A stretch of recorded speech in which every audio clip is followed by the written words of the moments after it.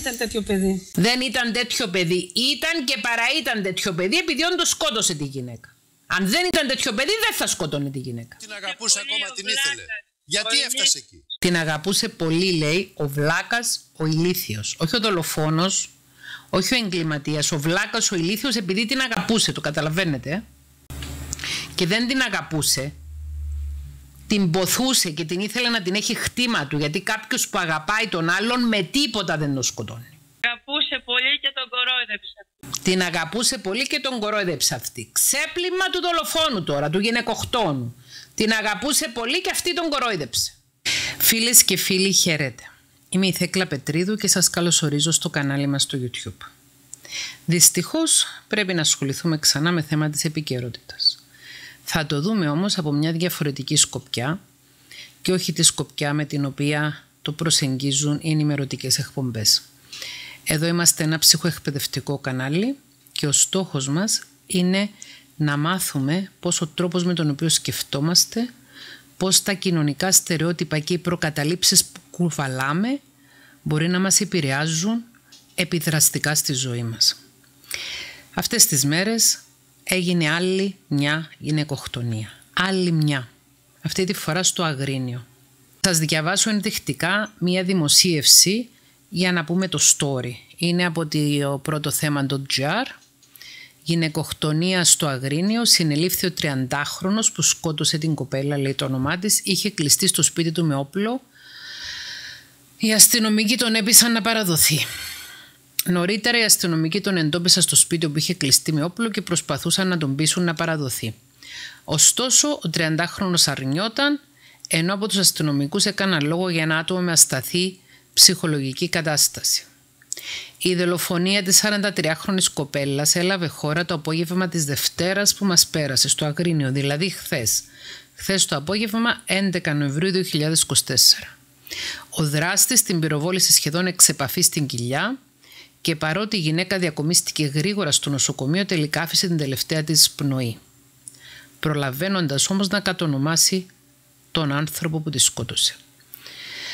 Η άτυχη γυναίκα ήταν διαζευγμένη και μητέρα τριών παιδιών, ενώ 30χρονος δράστης που κατονόμασε πριν ξεψυχήσει είχε απασχολήσει τις αρχές για ενδοοικογενειακή βία το Σεπτέμβριο και επρόκειτο να δικαστεί την Παρασκευή. Τότε, το Σεπτέμβριο δηλαδή, είχε συλληφθεί στα όρια του αυτοφόρου, είχε οριστεί τακτική δικάσιμος, αφέθηκε ελεύθερος και του είχαν αφαιρηθεί τρία όπλα που είχε στην κατοχή του. Παράλληλα, σε βάρος του είχε εκδοθεί διάταγμα για περιοριστικά μέτρα ώστε να μην πλησιάζει τη 43χρονη γυναίκα που τελικά σκότωσε. Αυτή είναι η είδηση. Και θέλω να δούμε στο δικό μας το βίντεο έχει συλληφθεί τελικά ο 30χρονος όπως σας διάβασα στην αρχή του άρθρου θέλω να δούμε ένα άλλο θέμα δεν θα μιλήσουμε για το γεγονός ότι η κοπέλα τα έκανε όλα σωστά και παρόλα αυτά δεν προστατεύτηκε. Σας παραπέμπω σε ένα εξαιρετικό βίντεο που έφτιαξε ο Ευάντζιαν με τίτλο «Αγρίνιο, ακόμα ένα έγκλημα που το θύμα τα έκανε όλα σωστά».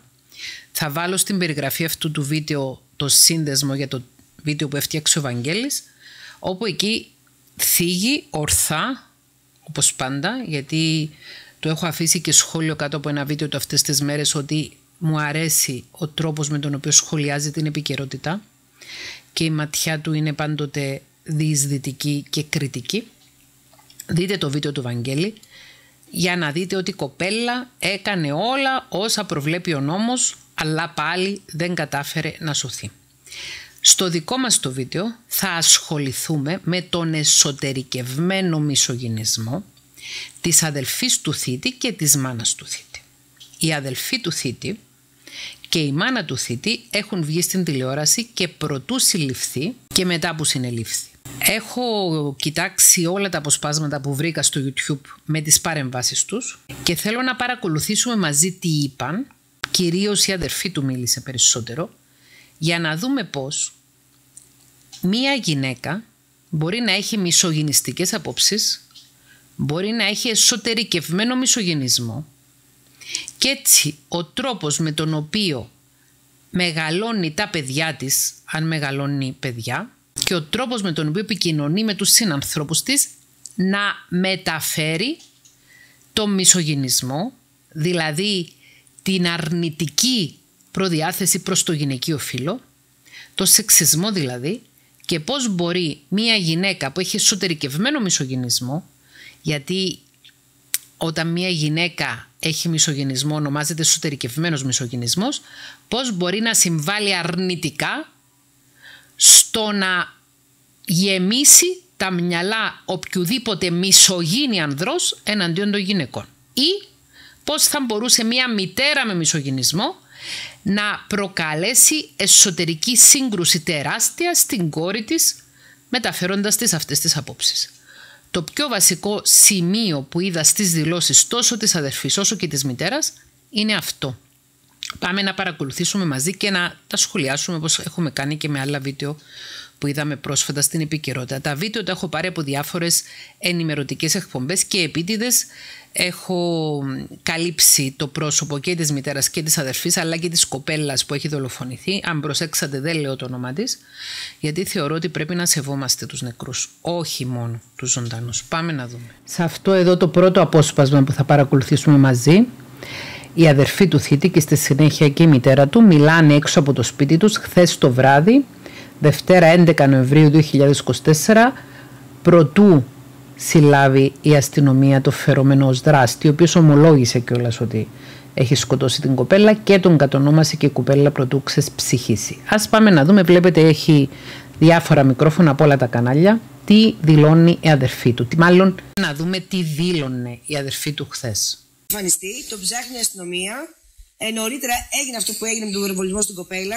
Θέλετε να μα πείτε δύο λόγια την κοπέλα, τη γνωρίζετε, την έχετε γνωρίσει εσείς, ήταν πολύ καιρό μαζί. Ο αδερφός μου είχε τέσσερα περίπου χρόνια σχέση με την κοπέλα. Να πω κάτι για τις ηλικίες. Ο φερόμενος ως δράστης είναι 30 ετών και η κοπέλα είναι 43. Άρα από τα 26 του είχε σχέση με την κοπέλα όταν αυτή ήταν 39 χρόνων. Θεωρώ πως η διαφορά ηλικίας πρέπει να έπαιξε ρόλο στο μισογυνισμό που εκφράζουν οι γυναίκες αυτές γιατί υπάρχει τεράστιο κοινωνικό στερεότυπο όταν η γυναίκα είναι μεγαλύτερη. Όταν ο άντρας είναι μεγαλύτερος θα πούν εντάξει άντρας είναι, επιτυχημένος είναι, δικαίωμά του, μαγκιά του που έχει μια νεότερη σύντροφο. Όταν όμως η γυναίκα είναι μεγαλύτερη τότε είναι πολύ πιο πιθανόν να εκφράζονται για αυτήν με απαξιωτικό τρόπο ακόμη και άλλες γυναίκες ή κυρίως άλλες γυναίκες. Ζητήσουμε συγγνώμη. Δεν ήταν τέτοιο παιδί ο αδερφός μου.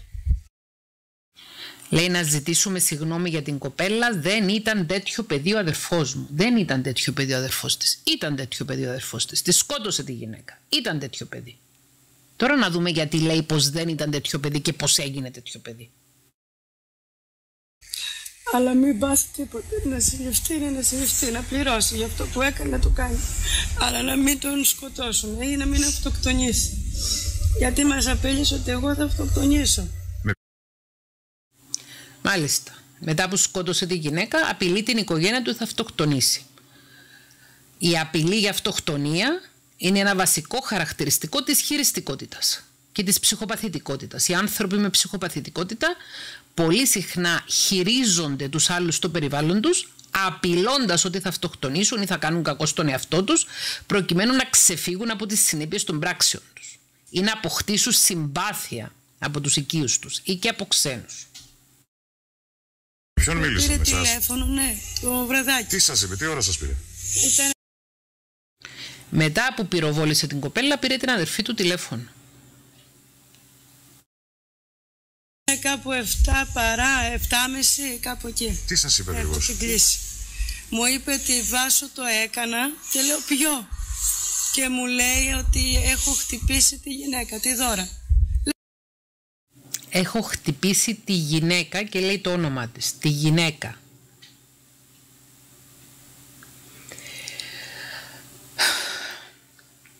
Έχω χτυπήσει τη γυναίκα. Έχω χτυπήσει τη γυναίκα. Πολύ σημαντικός ο τρόπος με τον οποίο εκφραζόμαστε. Όχι, έχω χτυπήσει τη φιλενάδα μου, έχω χτυπήσει την πρώη μου, έχω χτυπήσει τη γυναίκα. Φυσικά μπορεί να μην της είπε ο αδερφός της, έχω χτυπήσει τη γυναίκα, να της είπε, έχω χτυπήσει την και να είπε το όνομα της κοπέλας, αλλά είναι ενδιαφέρον που λέει, έχω χτυπήσει τη γυναίκα και μετά λέει το όνομά της. Είναι πρώτα η γυναίκα, η κακιά γυναίκα και μετά το όνομά της. Πεθαμένη γυναίκα εντωμεταξύ να γίνονται αυτές οι δηλώσεις. Λέω γιατί ρε Αντρέα δεν είπαμε άστην αφού δεν θέλει κάτι η κοπέλα. Γιατί βρε το έκανες; Δεν είπαμε άστην αφού δεν θέλει κάτι. Γιατί το έκανες; Δεν είναι κτήμα σου, άστην. Να μια σωστή φράση που είπε. Δεν είναι χτήμα σου, άστινα. Αλλά αυτό του το είπε μετά που τη σκότωσε. Δεν είναι χτήμα σου, άστινα. Πώ θα την αφήσει, τι την άφησε, τι τη σκότωσε.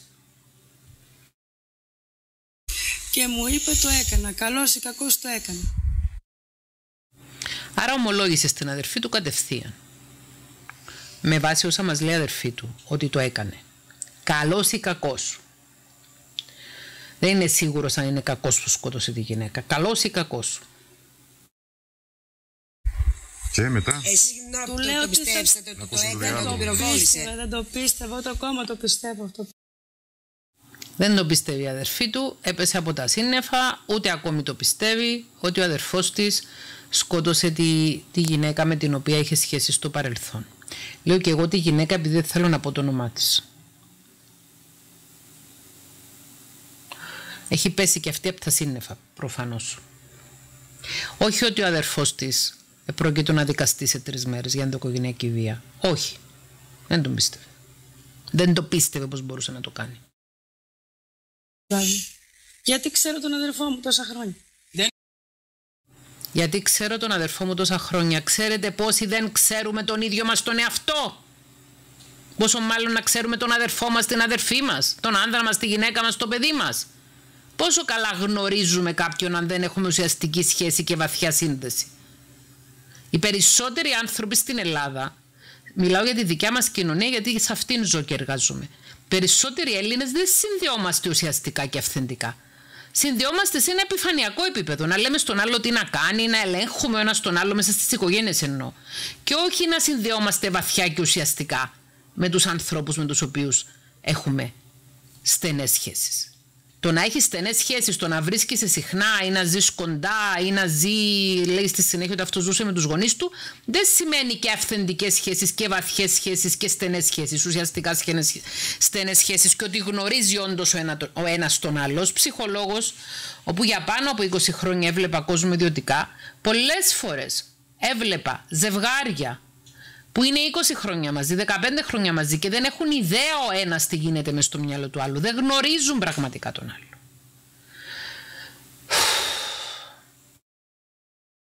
Δεν ήταν τέτοιο παιδί, άλλαξε από αυτή την Τι κοπέλα. άλλο. Δεν ήταν τέτοιο παιδί. Άλλαξε από αυτή την κοπέλα. Όχι μάνα μου.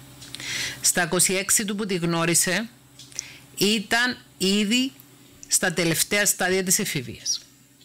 Στα 26 του που τη γνώρισε είχε ήδη σχηματίσει το μεγαλύτερο μέρος της προσωπικότητας του. Δεν άλλαξε από αυτήν την κοπέλα. Άκου, κατηγορεί το φωνιά ότι δολοφόνησε το θύμα του επειδή άλλαξε από το θύμα του και από τη σχέση που είχε με το θύμα του. Σας είπε. Μου είπε Έκλεισε έτσι ότι. ο Ναι, διάλογος. μου, ένα λεπτό, ούτε ένα λεπτό. Τι άλλο σας είπε; Μου είπε ότι θα φύγω τώρα να μου προσέχεις τη μάνα μας και το παιδί. Ε, θα φύγω τώρα να προσέχεις τη μάνα μας και το παιδί πήγε και σκότωσε την κοπέλα. Πήγε και σκότωσε τον άνθρωπο και μετά λέει θα φύγω τώρα να προσέχεις τη μάνα μας και το παιδί. Παιδί εννοούσε. Το δικό Το μου. δικό σας. Το δικό μου. Προσπαθήσατε να το αλλάξετε άποψη. Ναι, ναι, αλλά το έκλεισε το τηλέφωνο. Α, είναι κλειστό. Επιχείρησατε Ναι. πάλι. να μιλήσετε. Επιχείρησα μετά, πήρα τη μάνα μου. Δεν, δεν υπάρχει το τηλέφωνο, είναι κλειστό. Ο αδελφός σας, τι άνθρωπος. Δεν είναι το τηλέφωνο που δεν υπάρχει, είναι η συνείδηση που δεν υπάρχει. Είναι η ανάληψη ευθύνης που δεν υπάρχει. Ένας ο οποίος σκοτώνει και αντιλαμβάνεται τι έχει πράξει παραδίδεται από μόνος του την ίδια ώρα. Χωρίς να σημαίνει ότι όποιος σκοτώνει και παραδίδεται κάνει καλά που σκοτώνει. Δεν είναι αυτό που εννοώ. Αλλά το γεγονός ότι απειλεί πως θα αυτοκτονήσει και κάνει όλες αυτές τις επικλήσεις στο συνέστημα, δείχνει ότι δεν αναλαμβάνει την ευθύνη για την πράξη του. Ε, είναι δηλαδή. Πολύ ευαίσθητος. Υπήρξε βία σε αυτή την κοπέλα. Του είχε Είναι πολύ ευαίσθητο. Πάρα πολύ ευαίσθητο. Τώρα, πόση ευαισθησία χρειάζεται για να σκοτώσει ένα ανθρώπινο όν, δεν ξέρω. Αν κάποιο κάνει επίκληση στο συνέστημα και είναι χειριστικό, δεν σημαίνει πω είναι ευαίσθητο. Να μάθουμε να χρησιμοποιούμε ορθά τις λέξεις. Τι σημαίνει ευαίσθητος; Ένας ο οποίος διαισθάνεται, καταλαβαίνει, ένας ο οποίος έχει οξυμένες τις αισθήσεις του, αυτός δεν πήρε είδηση ότι η κοπέλα του λέγε Φτάνει, κάνει και προχωρούσε και επέμενε με το έτσι θέλω. Είναι ευαισθησία αυτό; κάνει και ασφαλιστικά μέτρα να κάνουν Ναι, ναι, λάθος, ναι. ναι. Γιατί συνέβη; είχαν κάποια Ασφαλιστικά προβλήματα. μέρες ήταν, Θα μας το αλλά πείτε. Είχαν κάποια προβλήματα μετά από τέσσερα χρόνια. Ο Είχαν κάποια προβλήματα, λέει η μάνα του. Μετά από τέσσερα χρόνια σχέσης είχαν κάποια προβλήματα. Όχι ότι η κοπέλα το χώρισε και αυτός επέμενε και δεν το δεχόταν. Είχαν κάποια προβλήματα. αδερφός μου δούλευε κάτω στη Σαντορίνη. Αυτή πρέπει να βγει, βρήκε άλλο. Και τον κορόιδε. Και στο Ο αδερφός της δούλευε σε ζών προφανώς και λέει αυτή πρέπει να βρει και άλλο και τον κοροϊδεύε. Εν τω μεταξύ, διαβάζω ότι η κοπέλα είχε σχέση με κάποιον και ήταν έτοιμη να αραβωνιαστεί, ο οποίος σύντροφος της, ο νυν σύντροφος της, δηλώνει ότι είχαν κανονική σχέση, ήταν έτοιμοι να αραβωνιαστούν, αλλά ο πρώην της δεν το δεχόταν, δεν το αποδεχόταν ότι τελείωσε και η κοπέλα είχε προχωρήσει. είπαμε ότι τίποτα. Ήθελε να τα βρει πάλι ο αδερφός μου, δεν ήθελε. Ο αδερφός της ήθελε να τα ξαναβρούν, αυτή δεν ήθελε. Όταν είσαι με κάποιον, όσα χρόνια κι αν είσαι, μπορεί να είσαι παντρεμένος, μπορεί να είσαι παντρεμένη, μπορεί να έχεις κάνει και παιδιά ακόμη.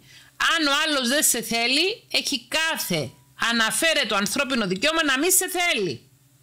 Και δεν έχεις κανένα δικαίωμα να απαιτείς να είναι μαζί σου όταν κάποιος δεν σε θέλει. Και το λέω και από προσωπική πείρα. Όσοι είσαστε εδώ στο κανάλι εδώ και πολύ καιρό, θα θυμάστε ότι κάποια χρόνια πριν ε, με χώρισε ο προηγούμενος μου σύζυγος. Τι έκανα, ούτε τον έτρεξα ξοπίσω, ούτε τον παρακάλεσα. Το αποδέχθηκα, πένθησα και προχώρησα με τη ζωή μου. Είναι δείγμα εξαιρετικής ψυχοσυναισθηματικής ανοριμότητας, εγωκεντρισμού, χτιτικότητας, κακίας. Το να επιμένεις να είναι ο άλλος μαζί σου ενώ δεν σε θέλει. Εκτός το ότι δεν είναι αξιοπρεπές, το ότι είναι αναξιοπρεπές είναι το λιγότερο. Το πιο σοβαρό απ' όλα δεν σέβεσαι τον άλλον άνθρωπο.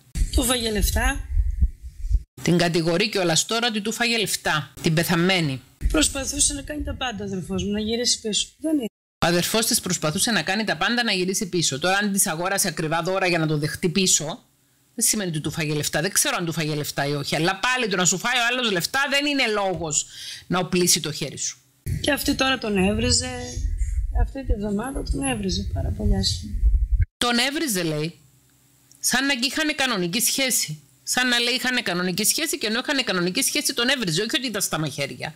Όχι ότι θα πήγαινε ένα δικαστήριο. Όχι ότι είχαν βγει ασφαλιστικά μέτρα και είχαν απαγγελθεί κατηγορίες. Τον έβριζε, λέει έτσι. Είχαν και δικαστήριο σε τέσσερις μέρες. Ναι, σε 4-5 μέρες, ναι, τι 15. Για ποιο λόγο, τι συνέβη και είχαν δικαστήριο; Ε, πήγε Πάμε τώρα να δούμε τι είπε ο αδερφός στην αδερφή για το τι συνέβηκε και πήγαν στην αστυνομία, κατέληξαν στην αστυνομία και ορίστηκε δικάσιμος. Στο σπίτι της να την βρει, να μιλήσουν. Αυτή δεν δέχτηκε. Πήγε τουλάχιστον, μπήκε μες στο σπίτι. Να το... Και αυτή το χτύπησε με μια Πήγε στο σπίτι της, αυτή δεν το δέχτηκε, αυτός μπήκε μέσα στο σπίτι της. καρέκλα στο κεφάλι. Και του λέει τώρα τι θες σου, να με σκοτώσεις κάντο. Και του πετάει του αδερφού μου ένα μαχαίρι δικό της από την κουζίνα. Μου φαίνεται απίστευτο ότι ε, μπήκε μέσα στο σπίτι αυτός χωρίς να θέλει η κοπέλα και ότι του πέταξε μια καρέκλα στο κεφάλι και μετά του πέταξε και με μαχαίρι και του είπε σφάξε με. Απίστευτο μου φαίνεται. Το πιστεύω ότι αυτό μπορεί να διηγηθεί και στην αδερφή του. Απίστευτο μου φαίνεται όμως να έχει συμβεί έτσι. Δεν ξέρω. Δεν ήμουν εκεί φυσικά. Ο αδερφός μου πέταξε το μαχαίρι πάνω στο έξω, εκεί στα πόδια μου. Αυτό. Του πέταξε στα πόδια της λέει το μαχαίρι. Μήπως την τραυμάτισε στο πόδι με το μαχαίρι. Δεν ξέρω. Δεν ξέρω τη δικογραφία. Το κάλεσε την αστυνομία. Περάσαν και δύο αυτόφορο. Το βράδυ πήγε νοσοκομείο ο αδερφός μου γιατί έπαθε κρίση πανικού. Ο αδερφός της πήγε στο νοσοκομείο για κρίση πανικού. Όχι στο νοσοκομείο γιατί είχε τραύματα που ισχυρίζεται η αδερφή του ότι τον είχε χτυπήσει η κοπέλα που τελικά δολοφόνησε ο αδερφός της. Είχε κρίση πανικού. Κρίση πανικού είναι ένα σύμπτωμα το οποίο μπορεί να το προσποιηθεί κιόλας κάποιος προκειμένου να έχει α, μια καλύτερη μεταχείριση ή προκειμένου να κάνει μεγαλύτερη επίκληση στο συνέστημα ή επειδή δεν αντέχει τον αρκισιστικό τραύμα που υπέστη. Γραμμένα αυτά είναι στο αστυνομία. Είναι γραμμένα στην αστυνομία αυτά. Είναι γραμμένα αυτά που, αυτά που λες εσύ ότι σου είπε ο αδερφός σου ότι είναι γραμμένα. Θα δείξει ότι είναι γραμμένα στην αστυνομία. Αλλά τώρα η κοπέλα χάθηκε. Τι το ψάχνουμε; Αυτά. Να ζητήσουμε συγγνώμη και από τα παιδάκια που είναι όρθωρα. Και το συγγνώμη τώρα. Να ζητήσουμε συγγνώμη και από τα παιδάκια που μείναν ορφανά. Δεν ξέρω, δεν μου ακούγεται αυτή η απολογία και πολύ αυθεντική. Σαν ψευδής απολογία μου ακούγεται, δεν ξέρω. Θα βάλω στην περιγραφή αυτού του βίντεο και το σύνδεσμο του βίντεο για την ψευδή απολογία. Πώς είναι μια αληθινή συγγνώμη σε αντιπαράθεση με μια ψευδή απολογία. Αλλά κι εμεί, κάτσε με τον αδερφό μας, δεν ξέρουμε πού είναι. Α, Να ζητήσουμε συγγνώμη από την οικογένεια και τα παιδάκια που μείναν ορφανά, αλλά και εμείς χάσαμε τον αδερφό μας. Δεν ξέρουμε πού είναι. Για το φωνιά μιλάει τώρα. αν ζει. Τώρα Μακάρι που ήρθε να από ζει κάτω και και να άσε το παραδοθεί. αυτοκίνητο, δεν τον είδατε. Όχι, εγώ ερχόμουν τρέχοντας από τα Αγρίνιο. Γιατί μου είπε τρέξει για τη μάνα σου. Τίποτα άλλο. Ε, Ούτε εσείς το καταλάβατε. Η όχι. μάνα μου ήταν σε ένα μινιμάρκετ εδώ κοντά. Α, δεν τον είδατε. Είδε το αυτοκίνητο και νόμιζε ότι ήταν σπίτι. Αλλά το σπίτι ήταν κλειστό, είχε τα κλειδιά από το αυτοκίνητο εκεί και αυτό άφαντο. Μάλιστα. Μάλιστα. Να ζητήσουμε συγγνώμη από την οικογένεια, τι άλλο. Να ζητήσουμε συγγνώμη από την οικογένεια, τι άλλο. Ήταν ξεκάθαρο ότι αυτός έκανε το φωνικό, πήγε σπίτι, άφησε το αυτοκίνητο και κρύφτηκε κάπου εκεί κοντά. Εκεί που τον βρήκαν κιόλας μετά. Στο μεταξύ, κάπου διάβασα ότι η καταγγελία έχει γίνει στο αστυνομικό τμήμα του Θέρμου, Αγρινίου. Ήταν, είναι ένα μέρος που το γνωρίζω. Έχω πάει μικρή διακοπές εκεί. Δεν ξέρω σε ποιο χωριό ήταν, αν ήταν στο Θέρμο, Τριχονίδο ή αλλού. Δεν φταίμε κι εμείς, αλλά και ο αδερφός μου. Δεν φταίμε κι εμείς. Φταίτε κι εσείς. Άμα πιστεύετε πως φταίει η γυναίκα που άλλαξε ο αδερφός σας, φταίτε κι εσείς αν του λέγατε φύγε από αυτή γιατί θα σε καταστρέψει. Την επόμενη μέρα το πρωί να δείτε τι είπε σε μια εκπομπή αδερφή του. Δεν ήταν τέτοιο παιδί. Δεν ήταν τέτοιο παιδί. Ήταν και παρά ήταν τέτοιο παιδί επειδή όντως σκότωσε τη γυναίκα. Αν δεν ήταν τέτοιο παιδί, δεν θα σκότωνε τη γυναίκα. Το σπίτι ήταν ταραγμένος, Όχι, δεν ήταν τεραγμένο, ήταν απλώς πήγε. Έφαγαμε και λέει πάω. Κάναμε ένα μπάνιο, λέει και να φύγω. Δεν ήταν ταραγμένος και μετά πήγε και έκανε φόνο. Αλλά, ήταν- άρα ίσως να ήταν και προμελετημένος ο φόνος. Η μάνα του είναι αυτή. Λέω που θα πας, πάω όλα, λέει και θα γυρίσω. Ε, Από τότε δεν τον ξέρω. Έκανε μπάνιο, πήγε βόλτα και να γυρίσει. Λέει και από τότε δεν τον ξανάδαμε. Ήταν ήρεμος δηλαδή. Ήταν ήρεμος, δεν ήταν. Δεν σας κίνησε κάτι. Όχι, όχι, δεν μου. Όχι, αφού το μεσημέρι μιλούσαμε στο τηλέφωνο και γελούσαμε. Από το μεσημέρι δεν είχατε κάποια επικοινωνία. Όχι. Ήταν ήρεμος, λέει η μάνα του. Ήταν ήρεμος. Μιλούσαμε και στο τηλέφωνο και γελούσε. Και το βράδυ πώ ανακαλύψει το αυτοκίνητό του να παρκαρισμένο εδώ; Όταν ήρθα εγώ και τότε εδώ πέρα, λέω θα είναι από πάνω. Πήγα από πάνω, δεν ήταν. Αφού Α, την λέω πήρα θα εγώ είναι σε την κάνα λέω. μαγαζί, λέω τέτοιο. Και μετά είδα τη βάση στο πορτατάκι μου. Το έχεις κλειδώσει το αυτοκίνητο κλειδωμένο; Αν θα μπορούσατε, αν σας έβλεπε, τι θα του λέγατε αυτή τη στιγμή. Να Να γυρίσει παραδοθεί. πίσω, γύρνα, Αντρέα. Να παραδοθεί. Ό,τι και να γίνει. Ό,τι και να γύρνα. γίνει να παραδοθεί. Είναι θετικό ότι του λένε να παραδοθεί. Και είναι και θετικό ότι σήμερα αυτές, λέει, τηλεφώνησαν στην αστυνομία για να πούν να έρθει η αστυνομία, να τον πείσει η αστυνομία να παραδοθεί, γιατί δεν τον έπειθαν να παραδοθεί. Κανένα αστείο και Με μας πανστικό. παραδοθεί, Γύρνα, σε παρακαλούμε όλοι. Σε παρακαλώ. Εδώ βλέπουμε σήμερα το πρωί, όταν λέω σήμερα ενώ την 3η 12 Νοεμβρίου 2024, τηλεφωνική παρέμβαση της αδερφής του στην πρωινή εκπομπή του Sky σήμερα. Ακούστε τι, λέ, τι λέει, ακούστε, ακούστε.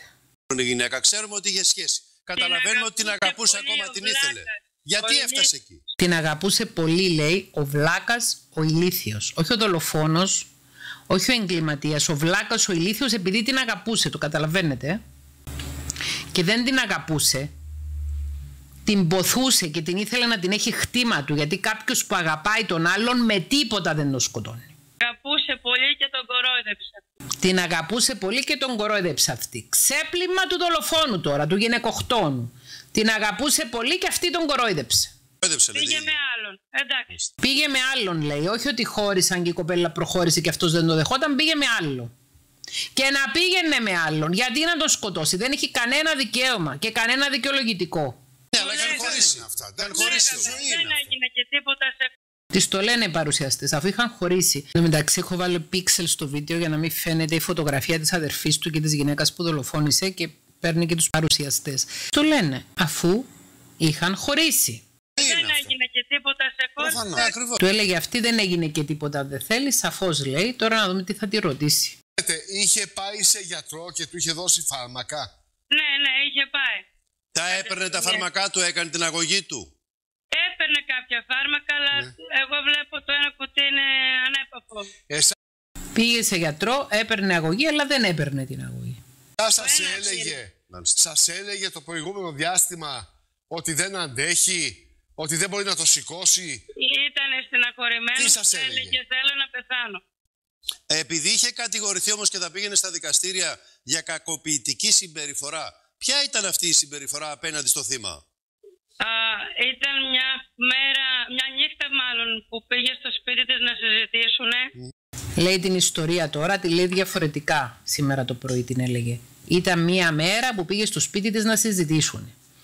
Ενώ στην προηγούμενη ε, παρουσία της είπε ότι πήγε αυτός ήθελε να μιλήσουν, αυτή δεν τον άφηνε να μπει μέσα και αυτός μπήκε με το ζόρι μέσα. Τον έβαλαν μέσα στο σπίτι αυτή. Ναι. Τώρα λέει πως τον έβαλαν στο σπίτι. Ενώ πριν είχε πει ότι μπήκε με το ζόρι στο σπίτι. Και δεν α, τα βρήκαν. Πάλι τσακώθηκαν. Αυτή το πέταξε στο κεφάλι από ό,τι ήξερα, από ό,τι μου είπανε. Ναι. Ε, εγώ δεν ήμουν μπροστά. Τώρα τη έκοψε και λέει από ό,τι ήξερα, από ό,τι μου πάνε δεν ήμουν μπροστά. Τώρα τη έκοψε σήμερα το πρωί. Του πέταξε μια καρέκλα αυτή. Του λέει τώρα τι θες να με σκοτώσεις κάντο. Και του πετάει ένα μαχαίρι στα πόδια του. Θα έδωσε ένα μαχαίρι να τη σκοτώσει η ίδια. Τα λέει μπερδεμένα. Στην προηγούμενη παρουσίαση της είπε ότι του έριξε το μαχαίρι στα πόδια και αυτού, αυτός το έριξε στα δικά της τα πόδια. Δεν καταλαβαίνω. Και του λέει εγώ δεν είμαι φωνιάς και το πετάει πάνω στα πόδια της κάτω. Κάτω. Άρα, λέει, του πέταξε αυτή το μαχαίρι στα πόδια και το πήρε αυτός από τα, από τα πόδια του και το πέταξε στα δικά της πόδια. Μήπως αυτός πήρε το μαχαίρι για να τη σφάξει; Τότε. Στα πόδια. Ναι, ναι, ναι. ναι. Σηκώθηκε και έφυγε. Και πήρε τηλέφωνο αστυνομία. Περάσει ταυτόφορο και οι δύο. Λέει τώρα και έχει πει και την προηγούμενη φορά που μίλησε ότι πέρασαν αυτόφορο και οι δύο. Προφανώς κατήγγειλε ο ένας τον άλλο. Θα τον κατήγγειλε και η κοπέλα και θα κατήγγειλε και αυτός την κοπέλα. Αυτός όμως είχε περιοριστικά μέτρα προς την κοπέλα, από ό,τι κατάλαβα. Παιδιά, πού ήταν όλο αυτό το διάστημα; Τα τρία Πάμε τώρα στο ζουμί. Πού ήταν τα τρία παιδιά της μάνας όλο αυτό το διάστημα; Δεν ρωτάει που ήταν τα τρία παιδιά το βράδυ που πήγε στο σπίτι της. Δεν ρωτάει που ήταν τα τρία παιδιά το βράδυ που τη σκότωσε. Που ήταν τα τρία παιδιά όλο αυτό το διάστημα που είχε σχέση η μάνα τους με το φωνιά. Τρία παιδιά τα έχει πάρει. Δεν την θέλανε καθόλου τη μάνα τους. Μάλιστα. Δεν τη θέλανε καθόλου τη μάνα τους τα τρία παιδιά. Τα έχει πάρει. Ποιος τα έχει πάρει για να δούμε. Γιατί τα παράταγε από ό,τι ήξερα. Παράταγε τα παιδιά της από ό,τι ήξερα. Με τον πατέρα τους, με, με Ε, κάποια ζουν με τον γιαγιά. πατέρα τους. Ζουν με τον Ζουν πατέρα με τον πατέρα τους. Εκεί στο Αποξενωμένα τα παιδιά της μακαρίτισσας, της δολοφονημένης γυναίκας. Αποξενωμένα. Από ό,τι ήξερε και η αδερφή του Φωνιά, δεν την ήθελαν τη μάνα και τα πήρε ο πατέρας. Ζουν με τον πατέρα τους, από ό,τι ξέρω, από ό,τι ήξερα. Μπορώ να υποψιαστώ να του λέει τι τη θες αυτή που είναι μάνα και έχει παρατήσει τα παιδιά της, ενώ μπορεί τα παιδιά της να τα έχουν στρέψει εναντίον της η δική της μισογενιστική συγγενής. Η δική της συγγενής με μισογενισμό. Αγρίνιο. Ναι, εκεί. Αλλά δεν ξέρω ούτε Βέβαια, ποιος εδώ είναι. μιλάμε για μια νεκρή γυναίκα, κυρία Βάσο. Α, το θυμήθηκε αυτός τώρα. Μετά που τη ρώτησαν πού ήταν όλο αυτό τον καιρό, τα παιδιά της, τώρα θυμήθηκε αυτός να της πει ότι μιλάνε για νεκρή γυναίκα. μου, βέβαια. Ναι, ναι. Ε, Ναι, ναι. Μόνο που δεν έβαλε και το ευτυχώς που πλέον είναι νεκρή. Δίπλα. ε, Και μπορεί να είναι και ο αδερφός μου. που έπεσε νεκρή. Ήταν πριν να βρεθεί ο αδερφός της μάνα μου, ρε, και θα μπορούσε να ήταν και ο φωνιάς νεκρός μετά. Και μπορεί να είναι και ο αδερφός μου νεκρός. Ο αδερφός σου σκότωσε τη γυναίκα το, σου το παραδέχτηκε. Και προφύλαξε το τομάρι του. Πήγε και κρύφτηκε. Και έκανε επίκληση στο συνέστημα. νεκρή, όπως ο αδελφός σας φαίνεται να σας ομολόγησε, από τα χέρια του αδελφού της. Η γυναίκα αυτή δεν μπορεί να περασπίσει τον εαυτό της σήμερα. Ευτυχώς που το κόψε το μυαλό σου να το πεις. Ότι η γυναίκα αυτή δεν μπορεί να υπερασπίσει τον εαυτό της σήμερα γιατί σκότωσε ο φωνιάς. Το Έτσι ξέρω. δεν είναι. Το ξέρω, το ξέρω. Το ξέρω, το ξέρω, αλλά την κατηγορώ ότι ήταν εμπίπ και δεν την ήθελαν τα παιδιά της και ότι και αυτή έχει καταστρέψει τον αδερφό μου. Το ξέρω, το ξέρω. Ξέρω. Εσείς Ό,τι πείτε, κι αν ήταν, είναι έγκλημα. Ο, ο είχε το αδερφός σας, δικαίωμα να μην θέλει. ο αδερφός Ό,τι και αν ήτανε, είχε το δικαίωμα να μην θέλει. Ο κάθε άνθρωπος έχει το δικαίωμα να μην θέλει. Και είναι φοβερή επαναθυματοποίηση του θύματος και victim blaming όταν σκοτώνει ένας φωνιάς έναν άνθρωπο και βγαίνουν μετά εκεί του φωνιά και λένε ήταν ανήθικος ο άνθρωπος που σκότωσε. Είμαι οργισμένη. Είμαι πολύ οργισμένη με τον μισογενισμό που εκφράζεται από γυναίκες. Πολύ οργισμένη και με τον μισογενισμό που εκφράζεται από άνδρες είμαι οργισμένη, αλλά ακόμη περισσότερο για τον μισογενισμό που, εκφρά, που εκφράζεται από γυναίκες. Γιατί εμείς οι γυναίκες δεν θα πάμε μπροστά σε αυτή την κοινωνία αν μισούμε μια την άλλη και αν τον μισογενισμό τον τρέφουμε, τον αυγαταίνουμε και τον διαδίδουμε. Σας ζούσε μαζί σας, που ζούσε, ζούσε μόνος του; Με, με ζούσε με τη μάνα μου και τον πατέρα μου εδώ στο χωριό. Αλλά δούλευε το πρωί μέχρι το μεσημέρι. Ζούσε με τους γονείς του 30 χρόνων και δούλευε από το πρωί μέχρι το μεσημέρι. Στη συνέχεια αυτής της εκπομπής ε, τη ρώτησαν αν είχε ο αδερφός της σχέση με την Greek Mafia. Ε, το αρνήθηκε, είπε έχετε αποδείξεις. Η γνωστή απάντηση όποιον ε, θεωρούν ότι επειδή δεν υπάρχουν αποδείξεις δεν μπορεί να έχει συμβεί κάτι και ούτω καθεξής. Όλα αυτά σήμερα το πρωί. 3η 12 Νοεμβρίου 2024. Μέχρι να κυκλοφορήσει αυτό το βίντεο μπορεί να περάσουν τα μεσάνυχτα. Το βιντεοσκοπό βράδυ 12 Νοεμβρίου 2024. Τελικά συνελήφθη μετά που πήγε η αστυνομία και έκανε διαπραγματεύσεις για να παραδοθεί. Ας δούμε τώρα τι δήλωσαν η μάνα και η αδερφή για τη σύλληψη του. Ε, Πρώτο λεπτό. Ε, ειδοποιήσατε εσείς την αστυνομία ή τον ίδιο μια αστυνομική; Όχι, το πείσαμε. Σας είπε κάτι, το μιλήσατε. Τουλάχιστον είναι ζωντανός έτσι, γιατί χθες το βράδυ φοβόσασταν. Ναι, αλλά τώρα φοβάμαι για τη φυλακή. Τώρα φοβάται για τη φυλακή η μάνα. Η έγνοια της είναι τι θα γίνει στη φυλακή που θα πάει ο γιος της. Όχι ότι ο γιος της σκότωσε μια γυναίκα. Να του συμβεί κακό στην το όπλο μαζί του. Το όπλο και το μαχαίρι δεν το έδωσε στην, εδώ, στην αδερφή του. Το αυτή τώρα τα παρέδωσε. Και τα πήγανε στον πότε της τότε, στο πρωί. Τώρα, τώρα, τώρα. Λέγω λίγο, μια ώρα. Τι σας είπε μόλις σας αντίκρισε κυρία Αρχοντούλα; Ότι με αγαπάει μάνα. Αγαπάει τη μάνα του, αλλά σκότωσε τη μάνα άλλων τριών παιδιών. Και η μάνα του είναι ικανοποιημένη επειδή την αγαπάει ο φωνιάς. Μάνα, σ' αγαπάω. Μάνα, σ' αγαπάω. Πώς μπορείς να αγαπάς τη μάνα σου και να σκοτώνεις τη μάνα άλλων παιδιών; Πώς γίνεται αυτό το πράγμα;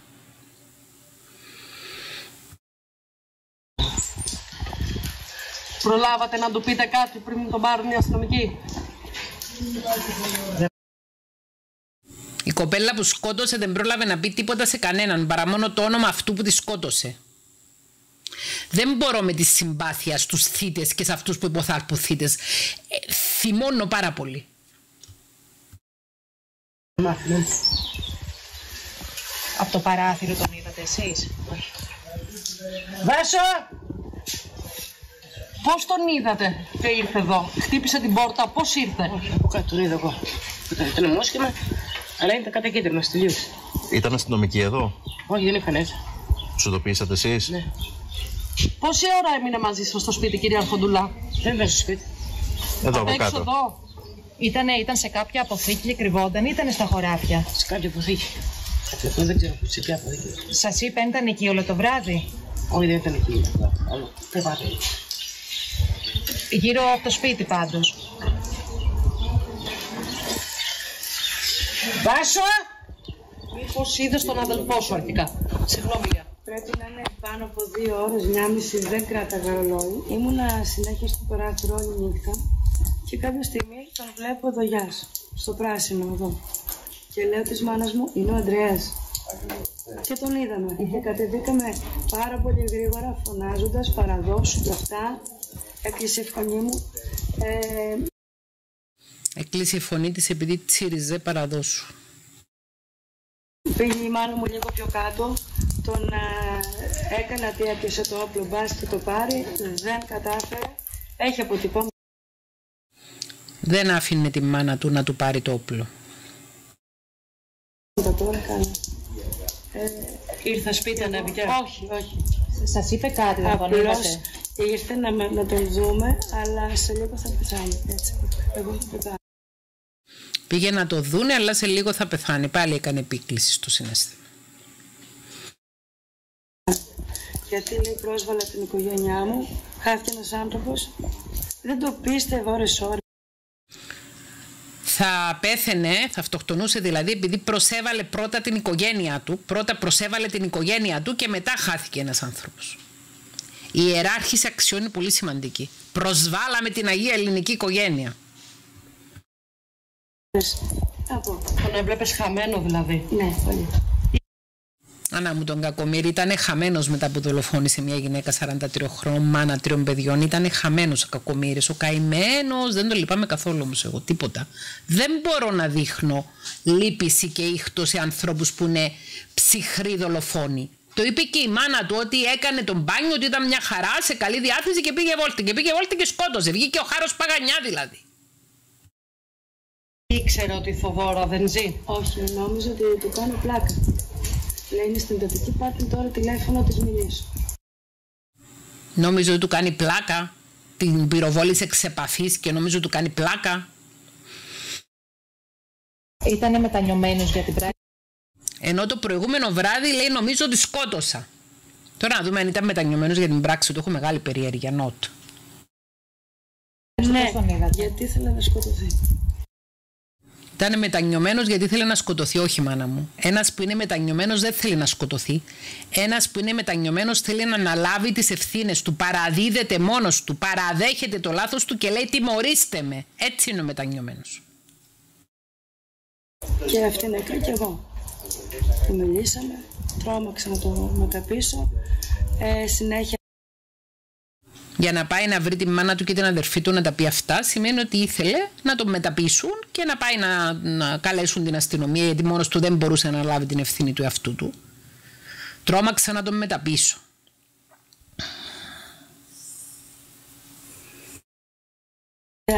το σκεφτόταν και έβαζε την κανή στο στήθος ή στο κεφάλι του. Έκανε επικλήσεις στο συνέστημα. Το σκεφτόταν και βάλε την κάνει ή στο κεφάλι ή στο στήθος του. Αχ, Και έπεφτε κάτω και όντως θα το έκανε. Μετά πήρα τα παιδιά της αστυνομίας, ήρθε ο κύριος Φαγατμάνης, μιλούσαμε στο τηλέφωνο μας και το μεταπίσει. Ήρθε ο κύριος Νίκος, ο άλλος, ο αστυνομικός. Είπε είμαι όπλος, θέλω να βοηθήσω, θέλω να βοηθήσω. Και έτσι του πήρα και το όπλο και ένα χέρι που είχε δίπλα του. Ήταν ταμπουρωμένος σε κάποια αποθήκη. Όχι, ήταν μου απλά στο είπε, χώρο. ήταν. πέ- Όχι, τώρα ήρθε εδώ. Ήταν πέρασε στα λουτρά, πέρασε μια παλιά, παλιά εκκλησία που δεν τη θυμάμαι να κάνω.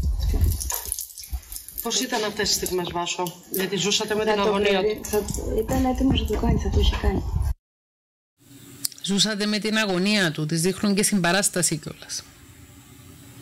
Έχουμε χάσει το μέτρο σε αυτή τη χώρα. Πραγματικά έχουμε χάσει το μέτρο. Εξαντλούμε τον ήχτο μας και τη λύπηση μας στους θύτες και όχι στα θύματα.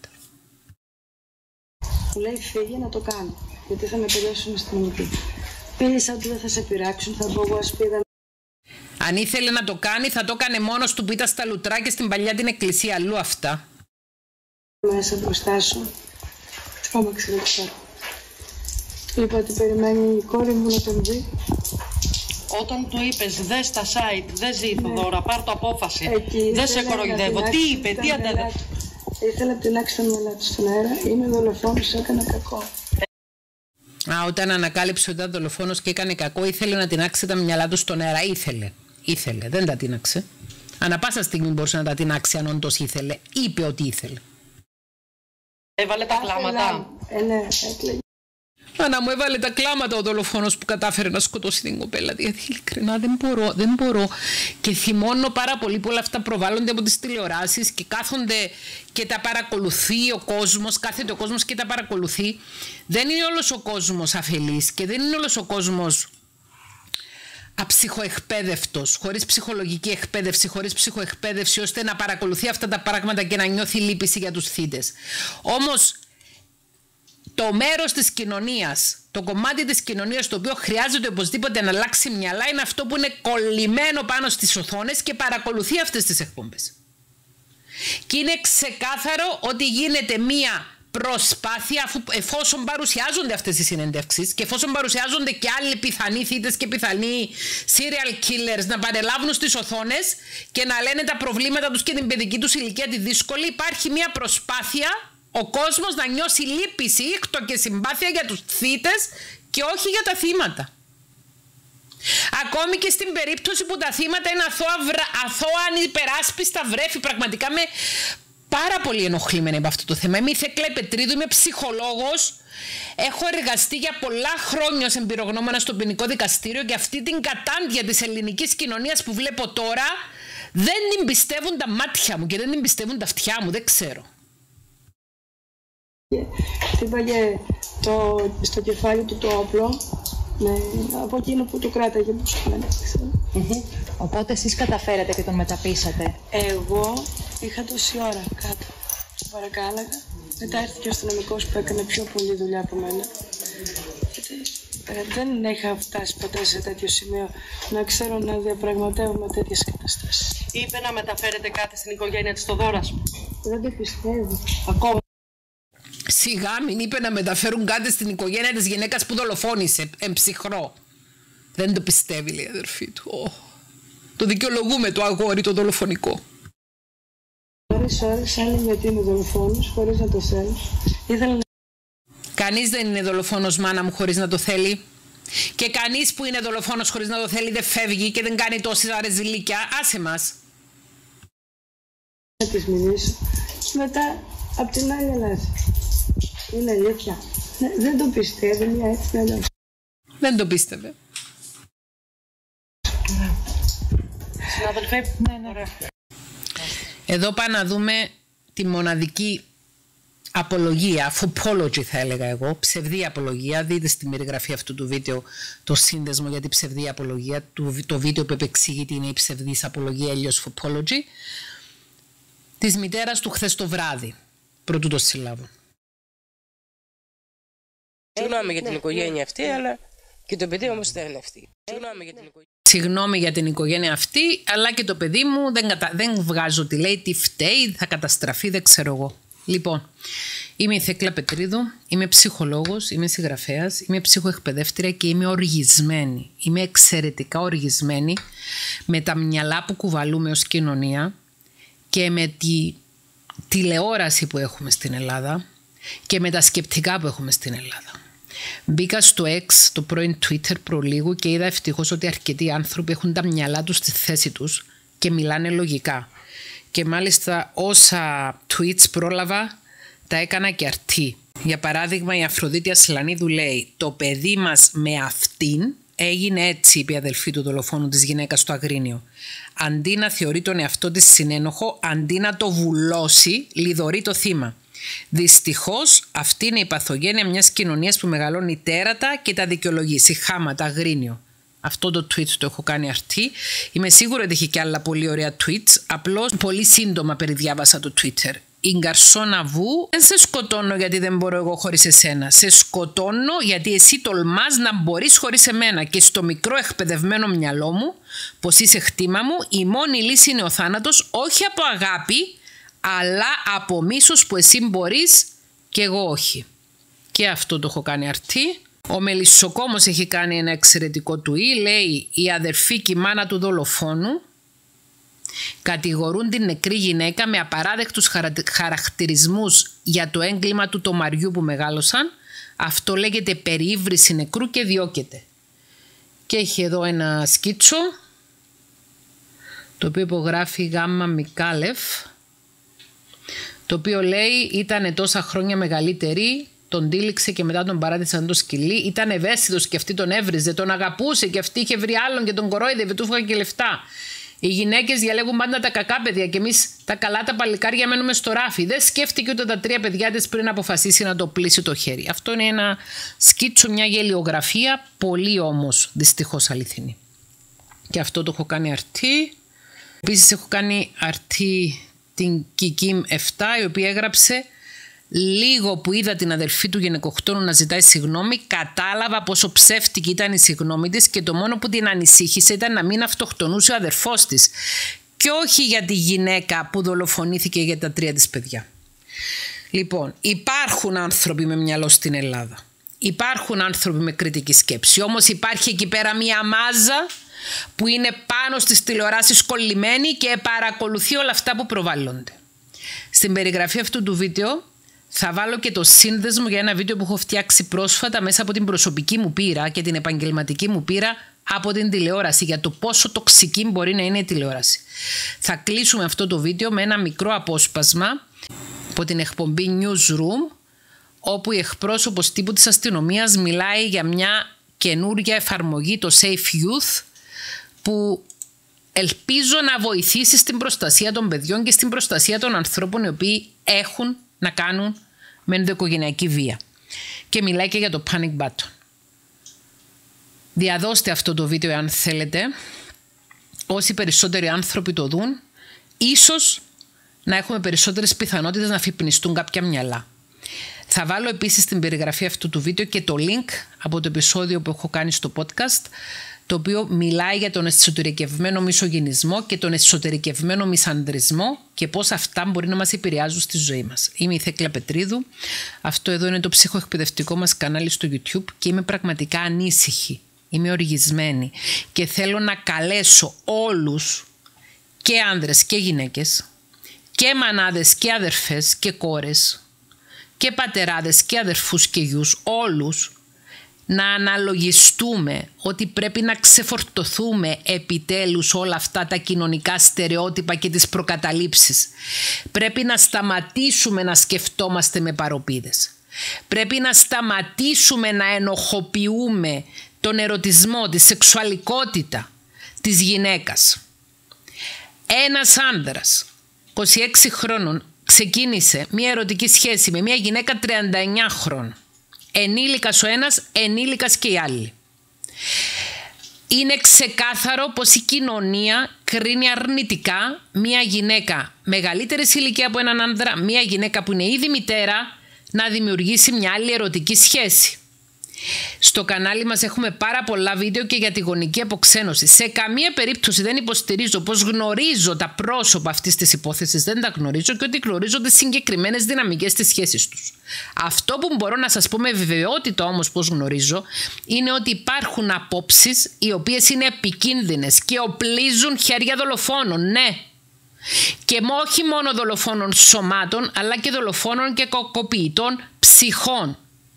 Όλες αυτές οι βλακίες που πιστεύουμε στην Ελλάδα, ότι η μάνα είναι ιερή, ότι αν μια γυναίκα γίνει μάνα δεν δικαιούται να έχει ερωτική ζωή μετά, ότι αν μια γυναίκα ε, είναι μάνα και χώρισε από τον πατέρα των παιδιών της δεν δικαιούται να κάνει άλλη σχέση μετά. Και τις παίρνουμε και τα παιδιά και στρέφουμε και τα παιδιά εναντίον της και μετά την κατηγορούμε ότι επειδή ήταν μπίπ γι' αυτό δεν την ήθελαν τα παιδιά και ο Άγιος Πατέρας τα μεγαλώνει. Πολλές τέτοιες περιπτώσεις έχω διαχειριστεί στο παρελθόν. Όσο δούλευα και ως εμπειρογνώμονα στο ποινικό δικαστήριο, αλλά και ως ιδιώτης ψυχολόγος. Δυστυχώς έχουμε παλιά μυαλά. Πρέπει να αλλάξουμε μυαλά. Γιατί δεν είναι μόνο η μάνα και η αδερφή του Φωνιά που είχαν παλιά μυαλά και ο ίδιος ο Φωνιάς είχε παλιά μυαλά και πολλοί άλλοι χρήστες στο διαδίκτυο έχουν παλιά μυαλά. Διάβασα προλίγου από το Instagram της Μαρίας Μπακοδήμου την εξής ανάρτηση. Είναι μια απεικόνηση οθόνης ενός σχολείου κάτω από ένα άρθρο ενημερωτικού site και γράφει η Μαρία, αυτό είναι ένα από τα σχόλια κάτω από το άρθρο ενημερωτικού site σχετικά με την γυναικοκτονία στο Αγρίνιο. Τι να λέμε τώρα, ο κόκος ή ο κοκός; Στενοχωριέται για το φωνιά και την οικογένεια του. Η άλλη ήταν μελοθάνατη, το ήξερε και πήρε τα ρίσκα της. Και βάζει η Μαρία το emoji του εμετού. Και η ανάρτηση λέει όταν σε μια σχέση υπάρχουν παιδιά και μάλιστα αγόρια και μάλιστα εφηβικής ηλικίας, από την πλευρά του θήλαιο ατόμου, η σχέση αυτή αποβαίνει μοιραία. Άσε μας, κοκό, κοκέ. Νόμος της φύσεως αυτός. Αυτό που κάθε χαζός λέει ότι παλαβομάρα του έρθει στο μυαλό και γράφει από κάτω νόμος με ξεπερνά. Όλος αυτός ο ξερολισμός των αδαών, αγράμματων, αγράμματον από κάθε άποψη και ψυχολογικά αγράμματον και κοινωνικά αγράμματον και συναισθηματικά αγράμματον και διαδικτυακά αγράμματον και γραμματικά αγράμματον. Το θήλι, μ' αρέσει που μιλάει και στην καθαρεύουσα, το θήλι που θα αποτρελάνει τον άνδρα και θα τον καταστήσει έρμεο εξάρτησης και ξεφτελισμού βρίσκεται σε μελοθάνατη κατάσταση.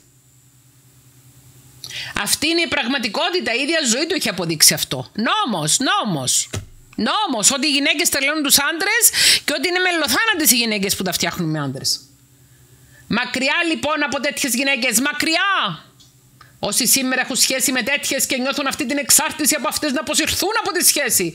Όσο και αν μέλη πονέσουν. Και όσο και αν μέλη πονέσουν. Γιατί θα καταλήξουν είτε στο τρελοκομείο είτε στη φυλακή. Και οι ίδιοι αλλά και οι δικοί τους άνθρωποι θα καταστραφούν. Αυτή είναι η Ελλάδα. Αυτός είναι ο μέσος μπάρμπας Έλληνας. Ο οποίος γράφει και στην καθαρεύουσα. Για να επιδείξει γνώσεις νότ. Μη θεκλά Πετρίδου και είμαι εξοργισμένη.